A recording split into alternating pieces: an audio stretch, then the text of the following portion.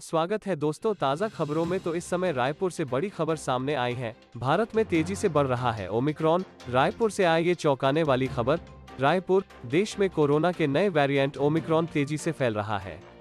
कई राज्यों में मामले अब बढ़ रहे हैं। इस बीच नए वेरिएंट को लेकर अलर्ट रहने की ज़रूरत है। ज़रूरी है कि छत्तीसगढ़ में जाँच का दायरा बढ़े, लेकिन राजधानी में टारगेट से कम जाँच हो रहा है।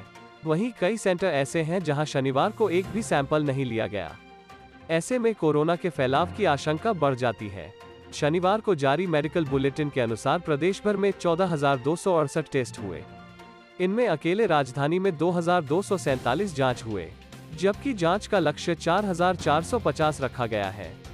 पचास दशमलव चार नौ प्रतिशत ही जाँच में चार मरीज़ कोरोना पॉजिटिव पाए गए हैं जबकि अभनपुर तिल्दा और बिरगा में एक भी सैंपल कलेक्ट नहीं हुआ। रायपुर ज़िले के ब्लॉक स्तर में जाँच पूरी तरह से ठप हो गया है।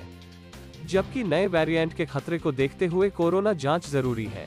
बुलेटिन के मुताबिक प्रदेश में शनिवार को 31 नए कोरोना पॉजिटिव मरीजों की पहचान की गई है और 28 मरीज़ स्वस्थ होने के उपरांत डिस्चार्ज रिकवर हुए। वहीं राज्य में शनिवार को कोरोना संक्रमित एक भी मरीज़ की मौत नहीं हुई है। फ़िलहाल सबसे ज़्यादा मरीज़ दुर्ग, राजधानी रायपुर, रायगढ़, कोरबा, जांजगीर, चांपा और बिलासपुर में सक्रिय है।